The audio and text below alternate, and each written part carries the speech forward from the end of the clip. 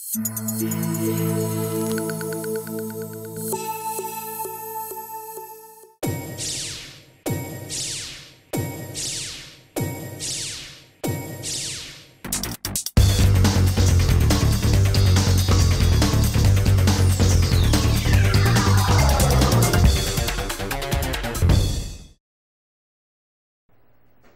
Amigos do esporte, muito boa noite. Está no ar Esporte na TV, o nosso encontro diário. A partir de agora vamos falar em esporte aqui na Vale TV. Hoje é noite de futebol, futebol do bom, futebol da Libertadores. Mas ontem acabou repercutindo aí, a gente acabou não falando nada até para se confirmar, né? a saída do Everton Cury como vice-presidente de futebol do esporte do Novo Hamburgo. É, eu confesso que nunca havia visto é, numa crise sair o vice-presidente. Então todos já estão esperando há muito tempo a saída do, do Beto, né? como treinador. O Beto ontem, durante o dia, apesar de ser dia de treino, não estava, estava resolvendo problemas em Santa Cruz. E aí o pessoal ficou tudo meio desconfiado, deu a reunião do, do, do, dos caciques, e aí foi anunciado a saída do Everton Cury.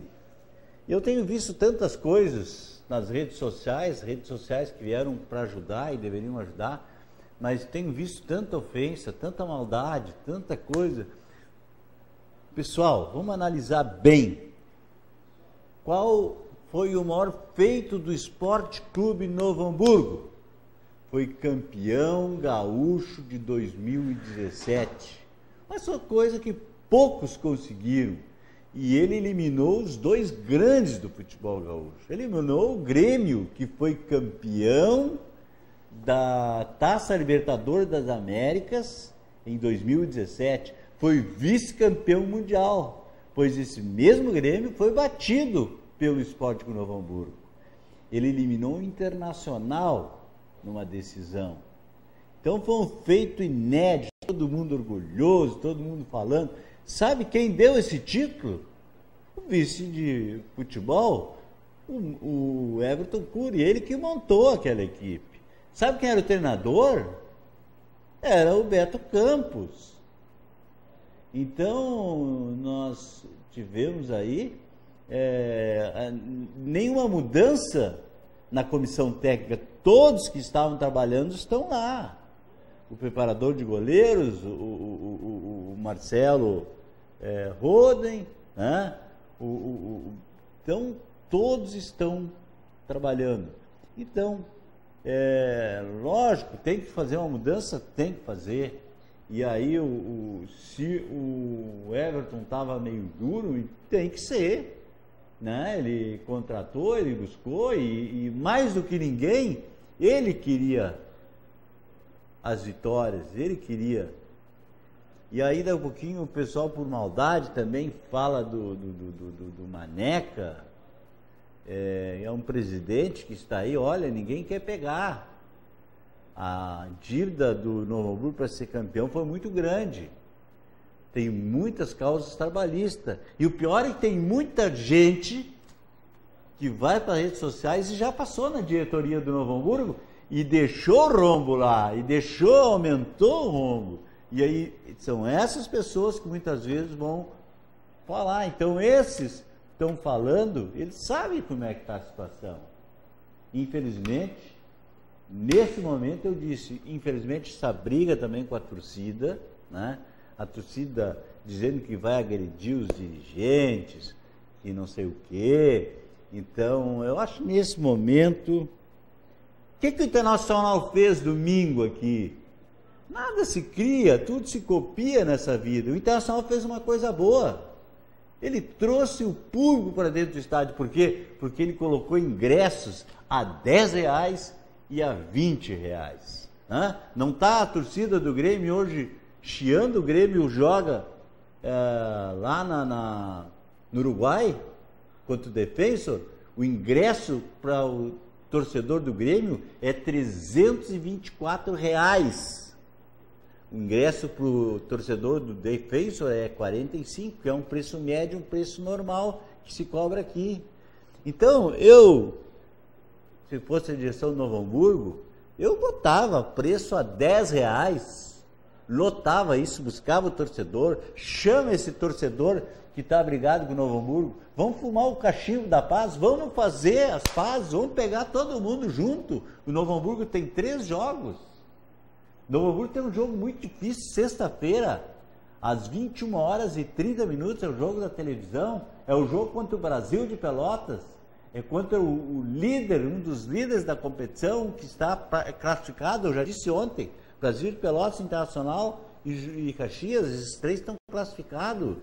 É contra esse Brasil que o Novo Hamburgo tem que fazer, o Novo Hamburgo precisa, a, a, alguns matemáticos disseram que precisa fazer cinco pontos, Pois quem sabe é só esses três pontos que ele tem para fazer em casa. Quem sabe o torcedor todo indo, que o Brasil vem, o torcedor vem de Pelotas, vai ter muita gente, torcida do Brasil. A torcida do Brasil não abandona o Brasil nunca. É o time, depois da dupla Grenal, que mais torcedor tem. E acompanha sempre, qualquer momento. Então vamos, quem sabe direção Fumo Caixinho da Paz, com essa torcida que está brigada, vamos à torcida, vamos pegar todo mundo junto, vamos começar aí, porque depois do Novo Hamburgo tem só jogos difíceis para jogar. E o Novo Hamburgo tem só esse jogo em casa, que é contra a equipe do Brasil. Tem o Avenida, é, tem o Veranópolis, tudo fora o Avenida, o, o, o Maninho, o mano, o, o, o, Dait, ele está montado, ele começou na, nas categorias de base no Hamburgo, ele aprendeu aqui e ele sabe dirigir as suas equipes muito bem. Então, pessoal, essa saída do Everton, sei se o que foi aqui, aqui mesmo, o, essa semana o, o Daniel Santos estava em contato com ele até para trazer aqui para nós falarmos da situação do Novo Hamburgo, né? e agora ele deixa de ser o treinador. Então, acho que, ó, pessoal, antes de criticar, uma crítica construtiva é muito bom. Mas agora, quando é para denegrir, ou para malhar, ou para falar mal, ou para falar uma coisa que não é verdadeira, aí é muito ruim. É muito ruim. Não, não fica bem. Né? E ainda mais se você já foi dirigente do esporte Novo Hamburgo, ou se você é torcedor vamos é, respeitar essas pessoas. Queiram ou não queiram, o, o Everton Cury foi o, o, o, diretor que deu o título de campeão, foi ele que montou aquela equipe, foi ele que montou essa equipe. O Beto Campos, que tanto estão sendo criticados, foi ele que é, montou a, equipe, ele que escalou. Então, e estão criticando o Beto porque na entrevista ele disse que não é só ele. Lógico que não é só ele, o jogador tem culpa também, os jogadores têm que pegar. Os jogadores também têm que, né? Então, olha, lamentável, eu não gostaria de estar falando isso agora e te perdi tanto tempo. Mas hoje tem o jogo do Grêmio aí, né?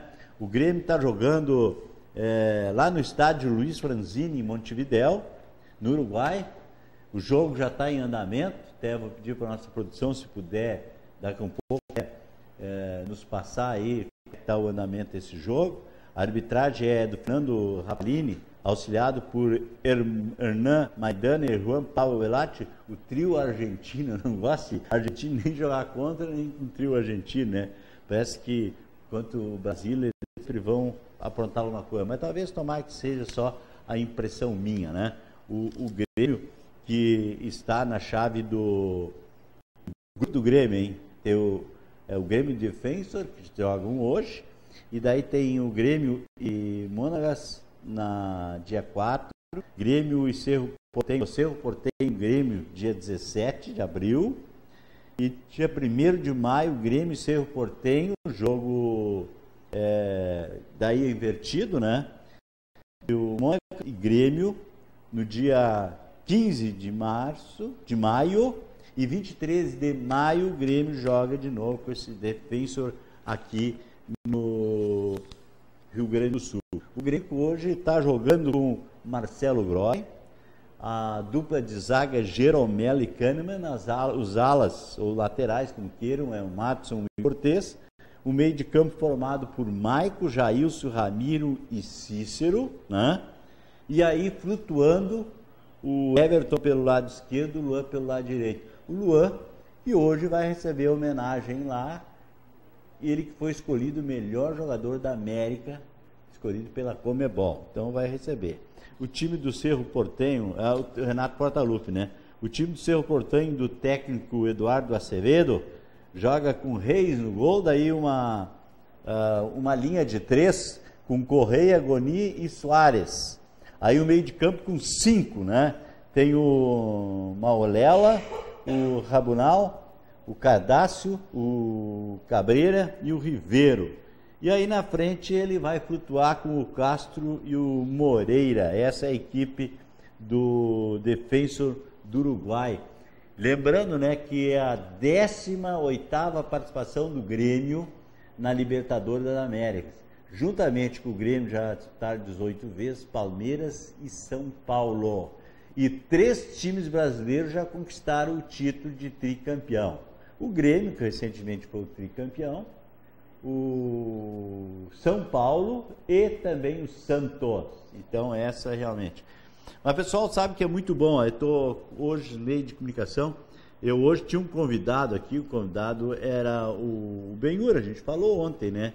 E o Benhur, ele está numa oficina lá em Gravataí. Ele saiu do treino, é, ficou sem freio, estourando, e os caras estão arrumando. Então ele mandou aqui as fotos e um pedido de desculpa de que hoje ele não poderia estar aqui. É, lamentamos, mas a gente entende bem o lado do Benhur, né, que realmente não pode estar aqui.